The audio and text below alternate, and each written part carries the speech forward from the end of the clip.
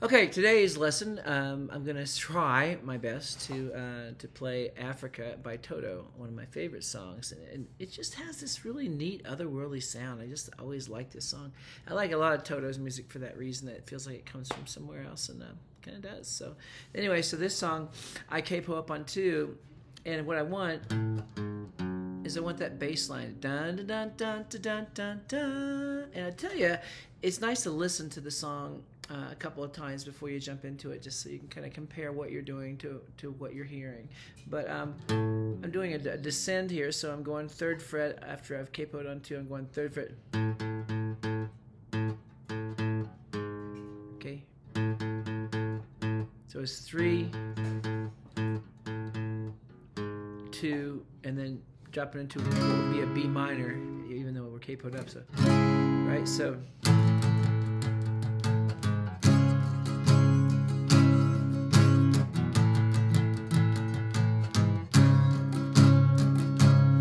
Say do that until you're bored of it.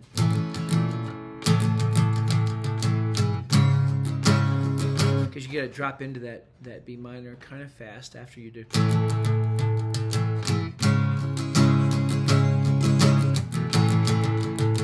Here I'm just hitting the top, top string of the top two.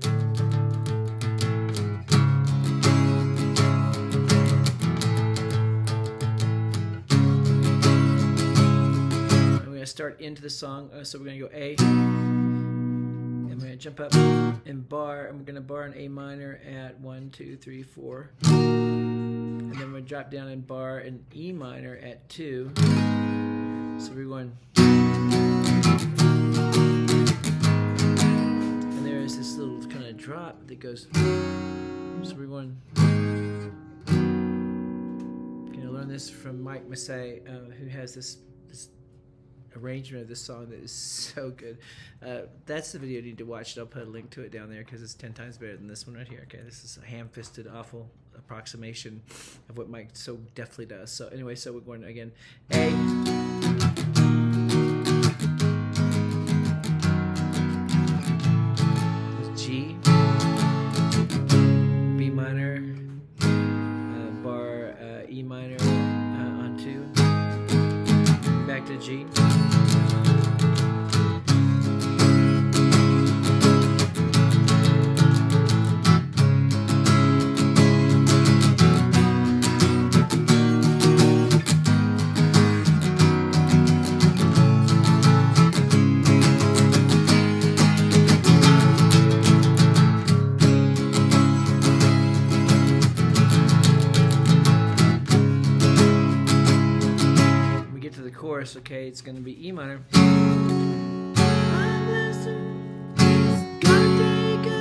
It's going E minor, C, G, and D.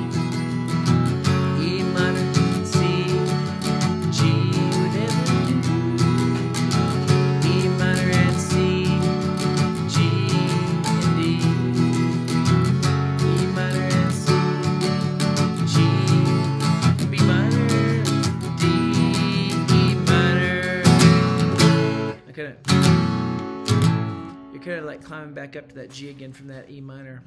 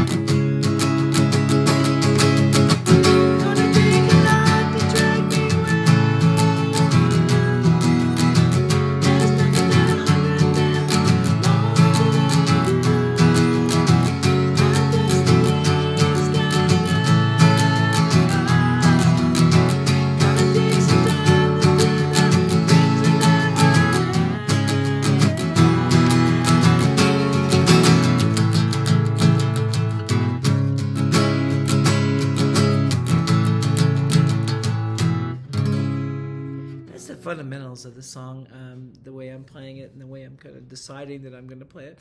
There's so many, when you listen to a song like this, and you have to remember this, um, guitar players, there's synthesizers, there's drums, there's a whole band, and you're playing as one person. And so you got to decide what things you can play, what you can bring into that on your lone instrument and with your voice. Um, if you can't reach it, you know, how do you go down like, gonna take a lot, because I could be, gonna take a lot I'm scraping the ceiling of my voice there. Gonna take a lot to drag me away from you. There's nothing that a hundred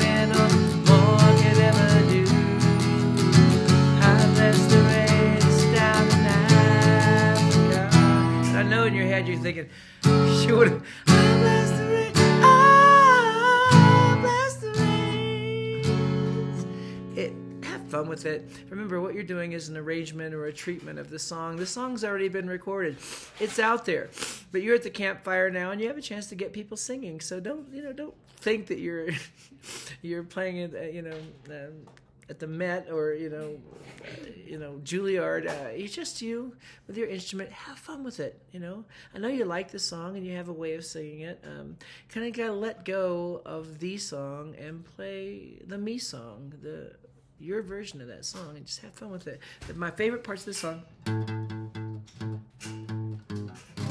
I love that. Uh, I love. Uh, there's just some those chords there have been playing since I started. A lot of you beginners have been playing E minor, C, G, D, F. Uh, a lot of those uh, F it doesn't enter into it, but anyway, um, those songs are just old friends by now. So by the time you get to the chorus, it's really got a lot of nice things. Uh, they're going to be easy for you. You can just have fun singing. But up till then, you're learning something new, and that new piece of tasty stuff, I believe, is that descend that drops into that D minor um, or B minor. Um, and remember capo one too. Um, that gets it up to where the song actually is. All right, see you. Bye.